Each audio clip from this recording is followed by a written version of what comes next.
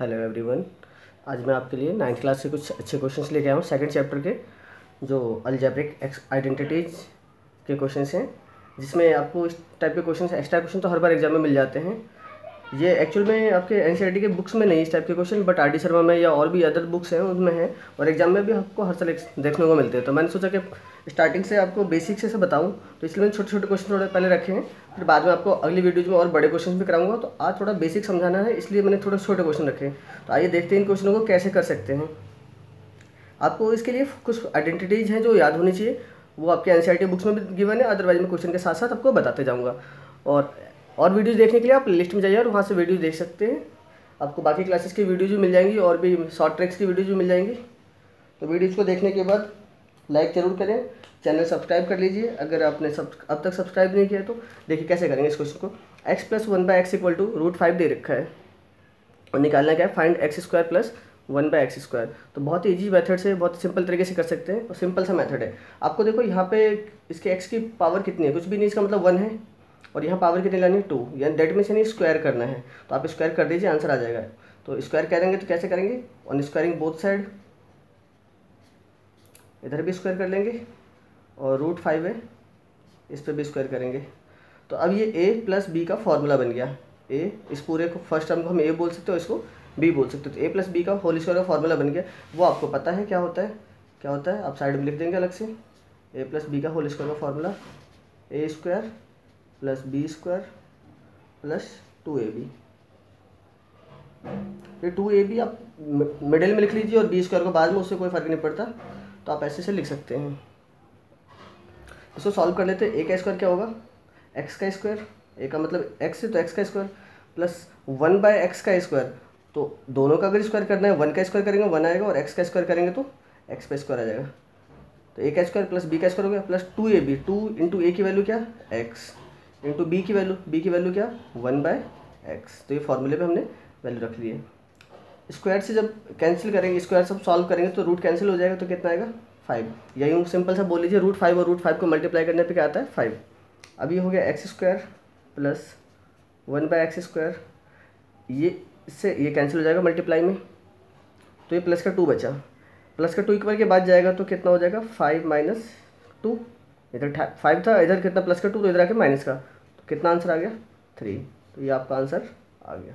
तो बस इस तरीके से सिंपल सा सॉल्यूशन करना होता है हमें और सारे आंसर आ जाते हैं। आइए अगला क्वेश्चन देखते हैं।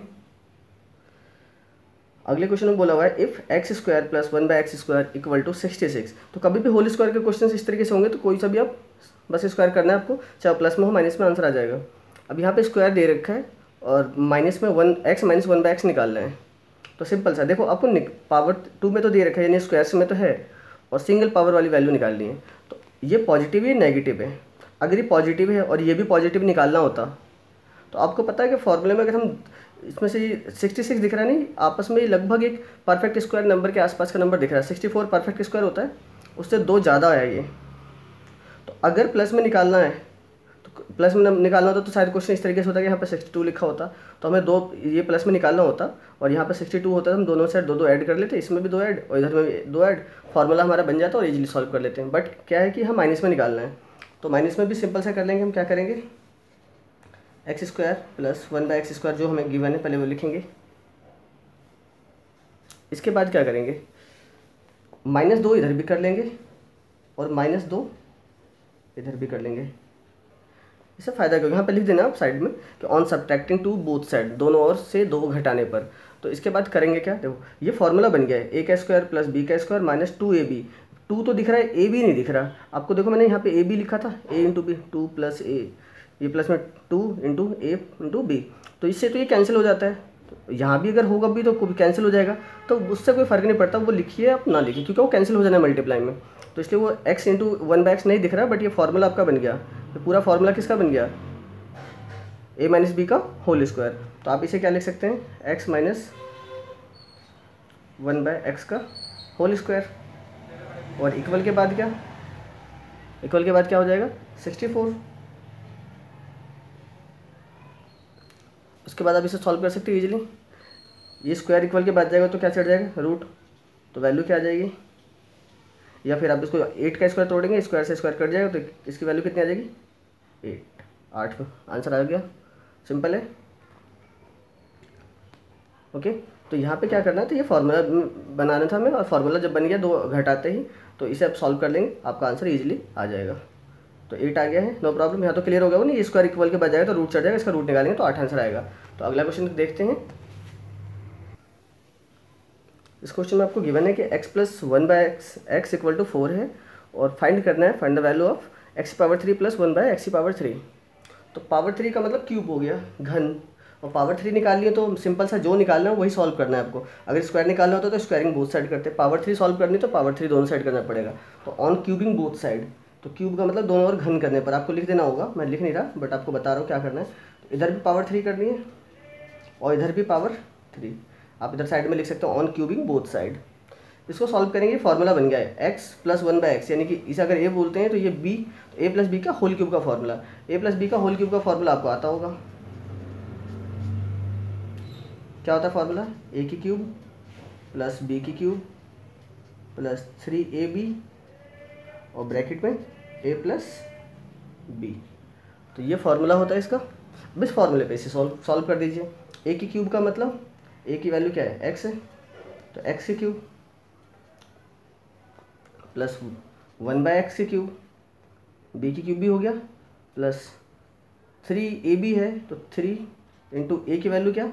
एक्स ए की वैल्यू एक्स इंटू बी की value one by X bracket में क्या है? ए प्लस बी ए की वैल्यू एक्स और बी की value one by X equal to में क्या?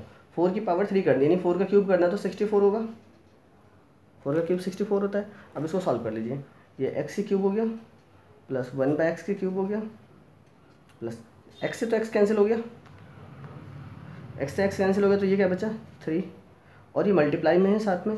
ब्रैकेट में X plus one by X X plus one by X की वैल्यू क्वेश्चन में गिवन है। एक्स प्लस वन बाय कितना गिवन है? फोर तो मैं इसकी जगह क्या लिख सकता हूँ? फोर दस सिक्सटी फोर अब इसे सॉल्व करेंगे तो आपका आंसर आ गया। ये प्लस का, ये कितना हो जाएगा? बारह। और प्लस का बारह जब इक्वल के बाद जाएगा तो क्या हो जाएगा? माइनस का बारह। तो माइनस का ट्वेल्व हो गया। और अब आप सॉल्व करेंगे तो एक्स की power three plus one by X की पावर थ्री इक्वल टू जब इसे माइनस करेंगे तो कितना आएगा? माइनस करने पे फिफ्टी टू आ जाएगा।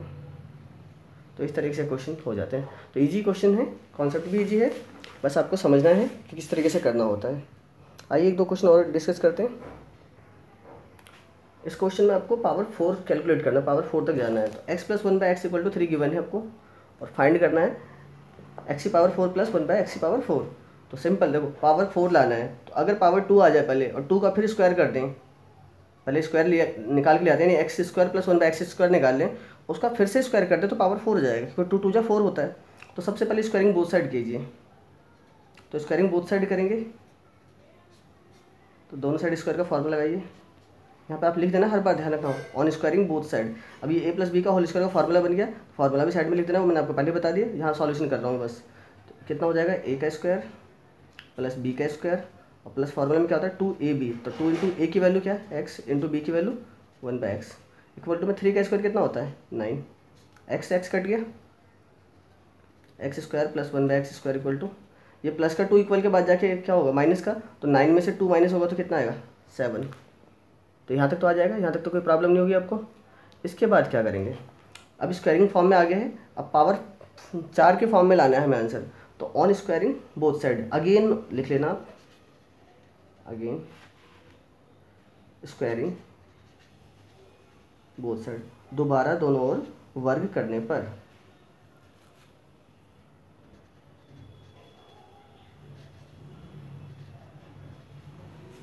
यहाँ पे भी आपको लिखना था on squaring both side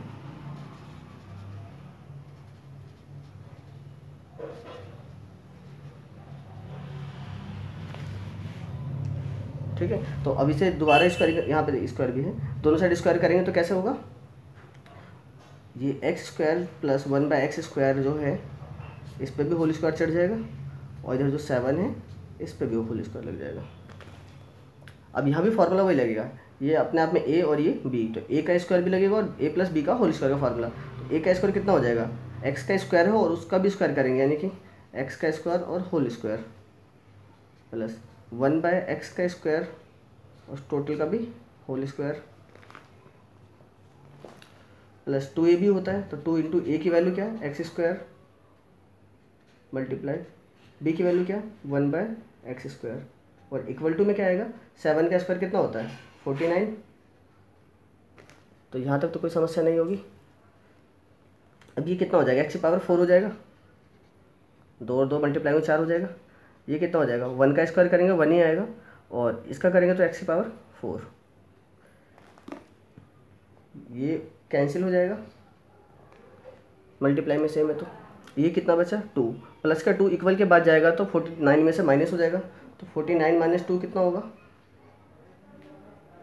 forty nine minus two बता सकते हैं आप इजीली कितना होगा? फोर्टी सेवन तो इस तरीके से सिंपल से करना होता है। यानी पावर फोर निकालनी तो दो बार स्क्वायर करना होता है। जस्ट और कुछ भी नहीं करना होता। हमें तो काफ़ी ईजी क्वेश्चन है। एक क्वेश्चन और करते हैं और बहुत अच्छा क्वेश्चन करते हैं। छोटा सा क्वेश्चन है। अब इस क्वेश्चन में गिवन है if X plus one by X equal to two find X की power two thousand eighteen plus one by X की पावर टू थाउज़ेंड नाइनटीन अब यहाँ कुछ भी हो सकता है पावर बहुत बड़ी हो सकती है बट ऐसे क्वेश्चन का एक फॉर्मेट होता है, एक पैटर्न होता है, जिस पैटर्न पे क्वेश्चन बनाए जाते हैं, तभी हो सकता है, ऐसा नहीं कि हम कुछ भी लिख दें और क्वेश्चन बन जाए। तो यहाँ पे जब भी भी X plus one by X equal to two given है X plus one by X plus one by X equal to two given है, इसका मतलब होगा कि एक्स की वैल्यू वन होगी हमेशा।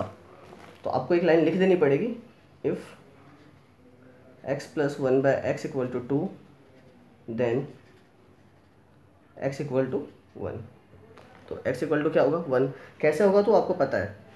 जैसे मान लो मैं एक्स की वैल्यू अगर वन रखता हूँ साइड में मैं सॉल्यूशन कर दे रहा हूँ थोड़ा सा समझाने के लिए। एक्स की वैल्यू वन रखता हूँ प्लस वन बाय एक्स की वैल्यू वन रखता हूँ, और इक्वल में कितना है? टू तो देखो, आप इसे सॉल्व करोगे तो ये तो वन और ये भी वन टू तो दोनों साइड क्या होगा? टू और टू इक्वल हो रहे इसका मतलब ये इक्वेशन को सेटिस्फाई कर रहा है। और इक्वेशन को सेटिस्फाई कर रहा है तो एक्स की वैल्यू अगर वन है तो आप सिंपल सा X plus one by X equal to कभी भी टू दिखे तो एक्स की वैल्यू अपने आप वन ले लीजिए। और ऐसे क्वेश्चन एग्ज़ाम में आते हैं।